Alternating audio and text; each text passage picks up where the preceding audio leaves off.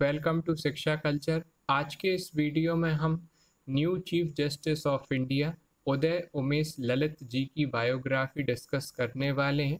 साथ ही में हम इनकी अचीवमेंट्स और इनके ऐसे कौन से डिसीजंस थे जो इन्होंने एक जज के तौर पे लिए, जिसके द्वारा इन्हें चीफ जस्टिस ऑफ़ इंडिया बना दिया गया।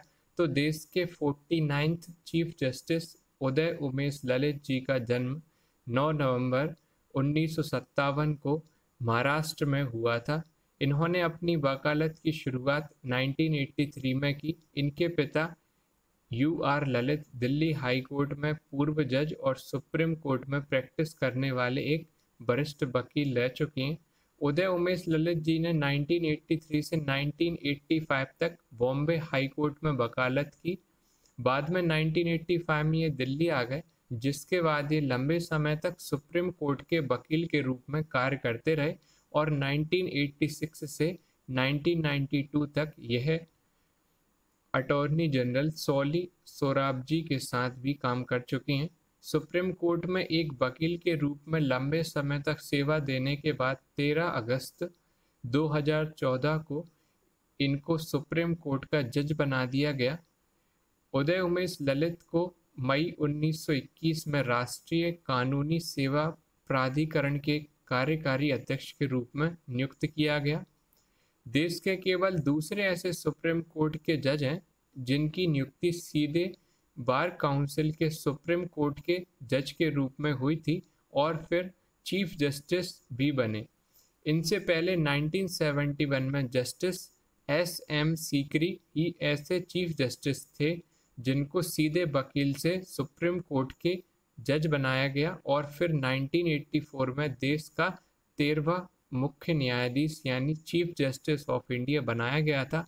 अब हम डिस्कस करने वाले हैं कि उदय उमेश ललित जी द्वारा लिए गए कुछ ऐतिहासिक फैसले, जिससे ये इतने ज़्यादा फ़ेमस हुए और इन्हें फाइनली फिर चीफ जस्टिस बनाया गया। तो टू जी स्पेक्ट्रम केस इसके बाद जो ट्रिपल तलाक वाला केस था, उसकी सुनवाई वाली बेंच के ये हिस्सा थे। तो इससे इन्हें काफ़ी प्रसिद्धि मिली, जो तीन तलाक का फैसला इन्होंने सुनाया था। इसके बाद पद्मनाभ स्वामी पर भी इनके फैसले को पूरे देश में काफ़ी प्रशंसा मिली। इसके बाद पॉस्को एक्ट में भी इनने काफ़ी अहम भूमिका निभाई। एससी एक्ट के फैसले में भी इनकी बड़ी भूमिका थी।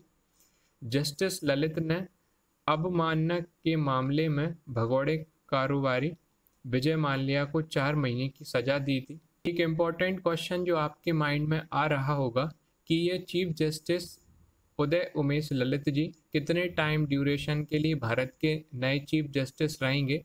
तो इसको समझने के लिए हमें पहले समझना होगा जो forty eighth chief justice of India हैं, न्यायमूर्ति रमन्ना जी, ये 16 महीने के अधिक कार्यकाल को समाप्त करते हुए 26 अगस्त को अपने पद को छोड़ देंगे, यानी कि रिटायर हो जाएँगे। उसके बाद 27 अगस्त 2022 को न्यायमूर्ति ललित जी को भारत का मुख्य न्यायाधीश के रूप में नियुक्त कर दिया जाएगा। और ये तीन महीने के कम कार्यकाल के दौरान चीफ जस्टिस ऑफ़ इंडिया रहेंगे और 8 नवंबर 2022 को ये रिटायर हो जाएँगे। यानी कि 27 अगस्त 2022 से 8 नवंबर 2022 तक इनका कार्यकाल रहेगा। 8 नवंबर 2022 को उदय उमेश ललित जी रिटायर हो जाएँगे। आई होप आपको यह वीडियो पसंद आया होगा। इसे लाइक करें, शेयर करें और चैनल को सब्सक्राइब करें। जय हिंद, जय भारत।